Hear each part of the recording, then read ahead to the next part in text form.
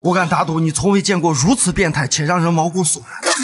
据说百分之八十的人看完这段录像，都会拿起菜刀去检查自家的衣柜和阁楼。以下就是整个犯罪的完整录像。二零一五年，在英国的希斯罗机场，一个幸福的四口之家将车停在机场，准备去度假。然而，就在不远处的另一辆车里，一个神秘男子用 DV 正在偷拍他们。待他们取下行李，过了安检之后，神秘男子急忙返回到停车场，用特制工具打开了车门，并成功的启动了车机系统。在导航找到他们的家庭住址后，男子开车很快就找到了车主的家。在确认家里没人后，他戴上橡胶手套，拿上工具包，就来到了房屋的后院。确认完没有报警系统之后，他捡起一块石头砸破了窗户的一角，然后打开窗户便进入到了屋内。整个过程手法连贯，胆大心细，很明显是个惯犯。进入后，他就好像回到了自己的家，很随意的换上了拖鞋，简单的巡视了一圈后，他打开电视柜，找到了家庭录像，像主人般惬意的躺在沙发上，认真的观察着家里。